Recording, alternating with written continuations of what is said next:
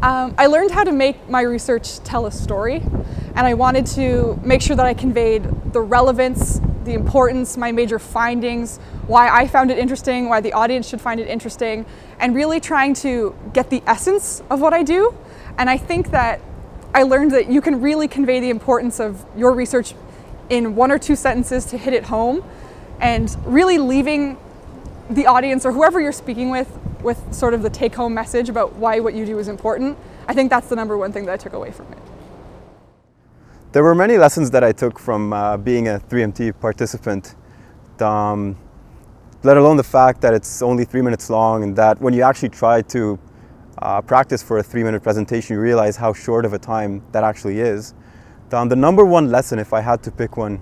is that if you want to deliver a strong impression in a public speaking type of setting, you want to practice and then you want to practice and practice again. Because once you get on stage and you get this kind of stage fright and you only have three minutes to go,